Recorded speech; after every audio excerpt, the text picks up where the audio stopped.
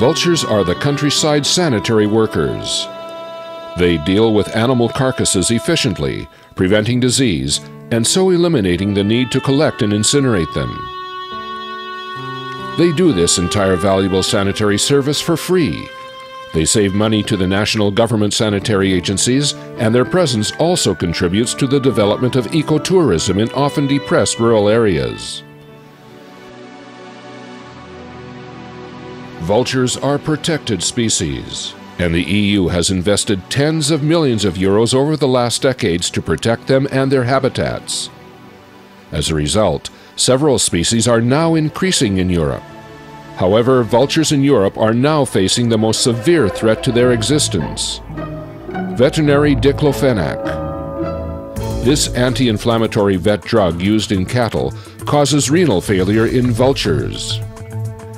In India, diclofenac caused a 99% decline in the vulture populations there and across Asia in a well documented wildlife and human crisis that cost the Indian society about 34 billion US dollars.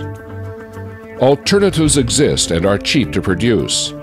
So, after years of lobbying, veterinary diclofenac is now banned in several Asian countries, only to surface now in Europe where permits for marketing have been secured in Italy and Spain.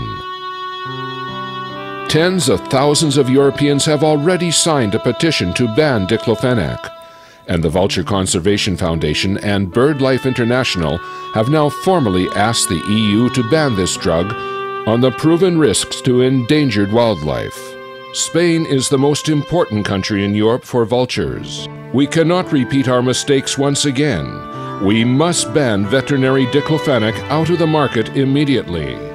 Commissioner Borg, please ban veterinary diclofenac and help our vultures survive.